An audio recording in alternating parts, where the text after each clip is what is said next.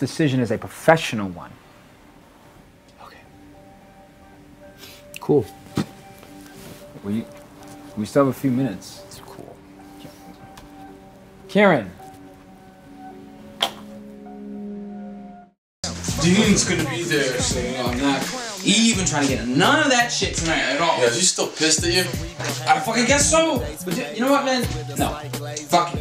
I'm not even gonna let none of that shit bother me because you know what? Tonight is all about me. You know, I'm just gonna get back, light some candles, put some music. Me time. You know what I'm saying, man?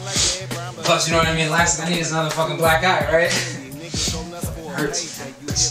Yeah, I feel that. Uh, you said you wanted a ball, right, Sean? Nope. No, no, no, no, no. Just a gram. Just give me a gram. Just a gram. Just a gram's good. and I always wanted to be a cop despite the fact that I grew up in the hood. You know what I mean? Things I saw as a kid, man, made me decide that early. These dudes that I grew up with, they saw things differently, I guess. So now, I gotta take them down. So how was it, Vinny? They didn't fuck you too hard in there, did they? Yeah, yeah, fuck you, douchebag. Come on, I don't know.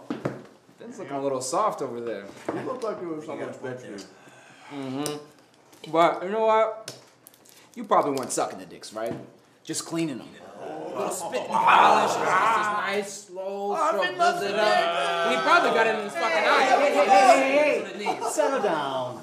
Don't want him thinking you're interested in his cleaning services, do you? Mm, that's fine. You know, think what you will, have your fun.